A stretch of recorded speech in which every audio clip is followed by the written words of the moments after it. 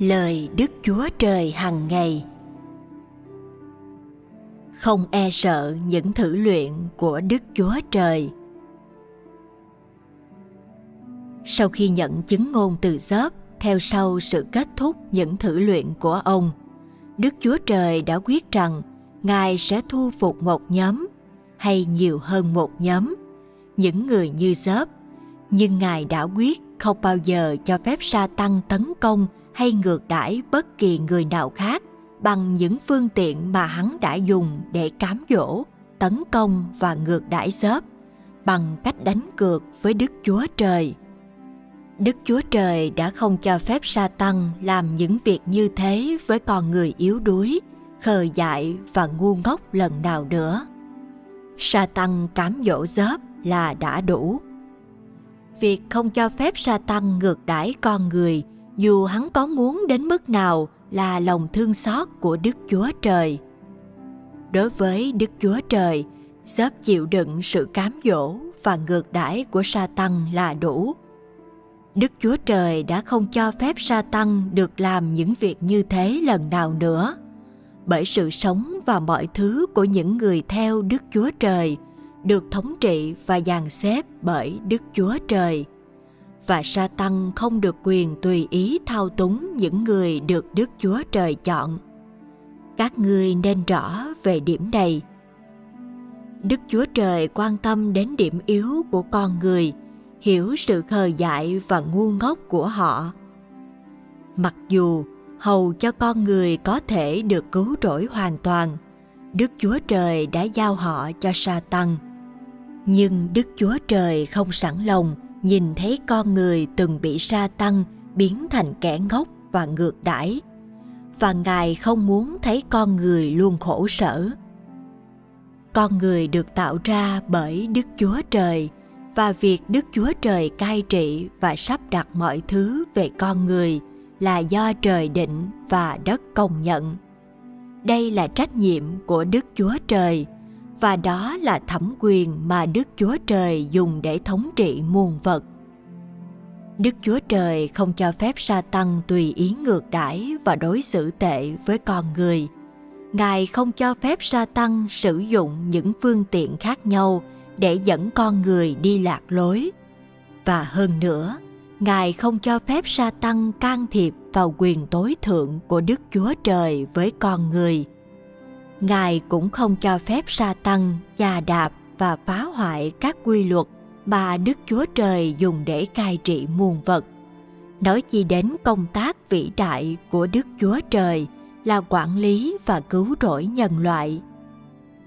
Những người mà Đức Chúa Trời mong muốn cứu rỗi và những người có thể làm chứng cho Đức Chúa Trời là cốt lõi và sự kết tinh của công tác kế hoạch quản lý 6.000 năm của Đức Chúa Trời, cũng như cái giá cho những nỗ lực trong 6.000 năm công tác của Ngài.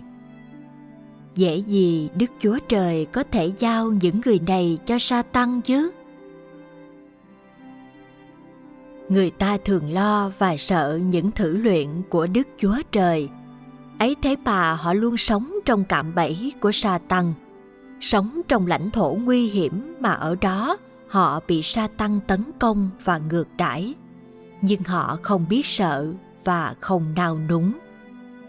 Chuyện gì đang xảy ra vậy?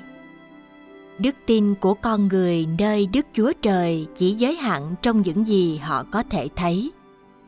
Họ không có chút cảm kích nào về tình yêu và sự quan tâm của Đức Chúa Trời dành cho con người hay về sự ân cần và quan tâm của Ngài đối với con người.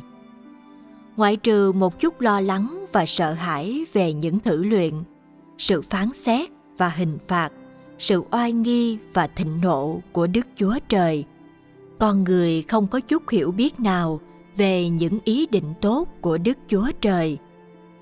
Khi đề cập đến những thử luyện, con người cảm thấy như thể Đức Chúa Trời có những động cơ ngầm và một số thậm chí còn tin rằng Đức Chúa Trời nuôi những mưu đồ xấu. Không biết Đức Chúa Trời sẽ thật sự làm gì với họ. Như thế, cùng với việc hô hào về sự vân phục quyền tối thượng và những sự sắp đặt của Đức Chúa Trời. Họ làm tất cả những gì có thể để chống lại và phản đối quyền tối thượng của Đức Chúa Trời đối với con người và những sự sắp đặt dành cho con người. Bởi họ tin rằng nếu không cẩn thận, họ sẽ bị Đức Chúa Trời làm cho lầm lạc, rằng nếu họ không tự chủ vận mệnh của chính họ, thì tất cả những gì họ có có thể sẽ bị Đức Chúa Trời lấy mất và cuộc đời họ thậm chí có thể kết thúc. Con người về phe của sa tăng, nhưng họ không bao giờ lo về việc bị sa tăng ngược đãi và họ bị sa tăng ngược đãi nhưng không bao giờ sợ bị sa tăng giam cầm. Họ cứ nói rằng họ chấp nhận sự cứu rỗi của Đức Chúa Trời, nhưng lại không bao giờ tin cậy Đức Chúa Trời hay tin rằng Đức Chúa Trời sẽ thật sự cứu rỗi con người khỏi móng vuốt của sa tăng. Nếu, giống như Job, con người có thể quy phục những sự dàn xếp và sắp đặt của Đức Chúa Trời và có thể dâng trọn mình vào tay Đức Chúa Trời, thì chẳng phải kết cuộc của con người sẽ giống y như của Job, nhận được những phúc lành của Đức Chúa Trời sao?